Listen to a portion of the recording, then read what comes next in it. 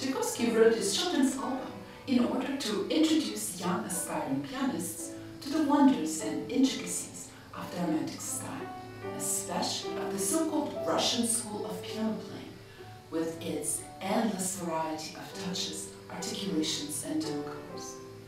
Each of the 24 little gems inspire an interpretation that is expressive, but also has very finely drawn characters and moods. In this series of videos, I will consider each of the little pieces in turn and discuss their technical and interpretive problems and offer solutions. If you are interested in the fascinating but difficult history of the writing of the children's album, please watch my video entitled Tchaikovsky's children's album, The Light of a Dark Soul. Children's album opens with the beautiful morning prayer, a piece that's very calm and meditative and filled with challenges and difficulty. Challenge number one here occurs at the very start as we start with chords. Our job is to avoid this, chords that are not played exactly together, exactly simultaneously. This is difficult. Our fingers are all different lengths and one is attached to the hand at a different angle. So getting them to go together at the exact same time is not an easy task at all. For a few very lucky pianists, if they just think I'm going to play this together and what I just did was not good, but this is good, their brain just adjusts automatically. This is wonderful. All they have to do is to listen to themselves carefully. For other people, hard as they listen, problems remain. So we have to consider the physical ways of playing hands together. There are basically two things to think about. The first thing is, if you play from the very surface of the key, you have a much better chance of um, bringing the keys down at the same time.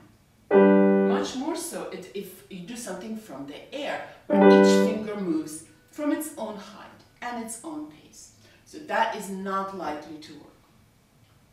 The second thing to consider is even if you are already on the key, if all the fingers bend in different places and in different ways, once again, you cannot get them to be simultaneous. So what you have to do is think about the entire hand from the elbow all the way to the fingertip being just one machine, one instrument.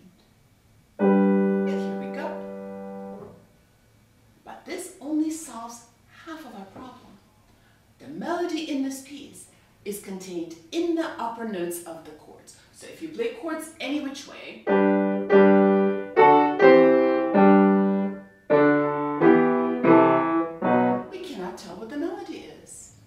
would be ashamed. the melody is so beautiful. So we have to think very hard about putting more weight, more power, and maybe even a little bit more speed on the top note.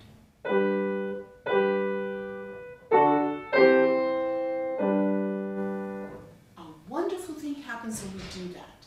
If the upper note really is louder, then even if the other notes were not exactly 100% together, the chord still sounds beautifully voiced. So, two for one. Excellent. Fantastic. So, let's move on to the next problem that most pianists experience in this. And that is that the long notes are never long enough.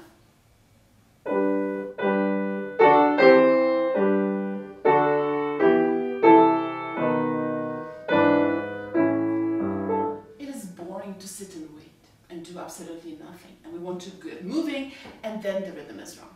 So what is the solution? Well, standard solution is to well count one and two and three and. The problem is, however, that you can't do that in performance. I mean, you can't say it, you shouldn't be mouthing the words either, and you certainly cannot do any kind of tapping with your foot or uh, blinking or whatever other gesture you want to do. So the solution to this is subdivide the notes in your mind into the constituent eighth notes, something like this.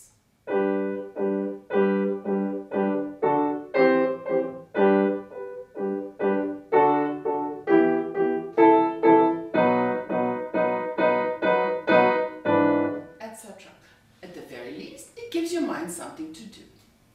But did you notice that the result wasn't very nice? My pulses were very metronomical. Now, we judge time by our own heartbeat. And our own heartbeat is actually much less regular than people think. When the heart rate is exactly, exactly regular, it means the machine is doing it, and that's just not good. Now, we do not want rapid heartbeats. We don't want uh, any of these things that land people in the emergency room. But in the normal course of things, our heart rate gets a little bit faster when we get excited. And then it slows down again when we relax. So this is what we want to create here. Some sort of gentle micro timing, but that is pulsed through every eighth note. So the changes in our tempo or our rubato is gradual, gentle, and natural sounding. Something like this.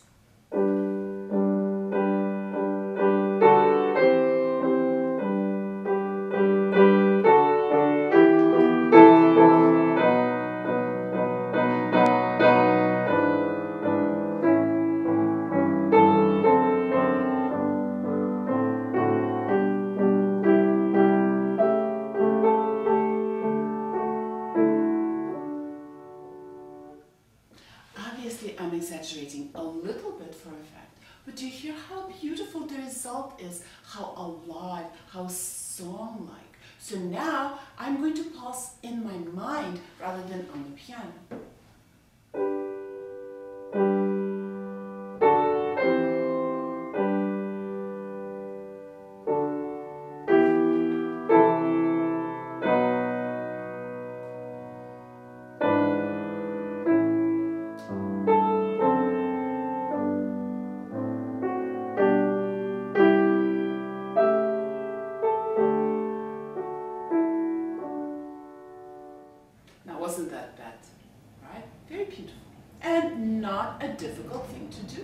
Useful in so many pieces.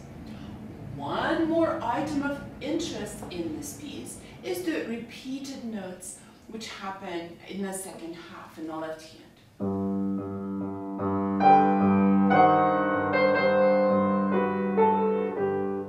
Here's how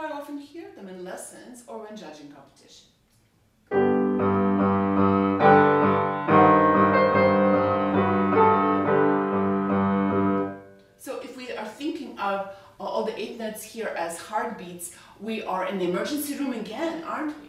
So instead, let's consider how to really play these notes effectively.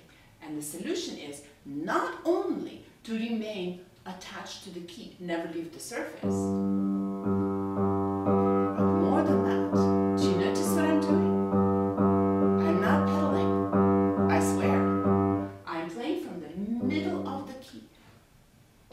in every modern piano, which is a marvel, there is that special point inside the key called the double escapement, from which you can play the note again without lifting the key all the way.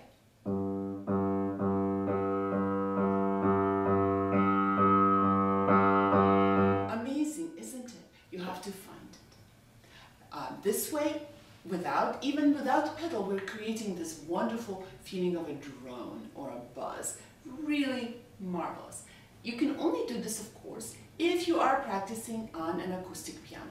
If you're playing on an electric, then your job is to just stay at the surface of the key and be as close to the key as possible. You can still make it a very beautiful piece. I hope I've answered a lot of your questions. If you have more, please leave them in the comments. And I will see you next time for piece number two, Winter Morning. Happy practicing!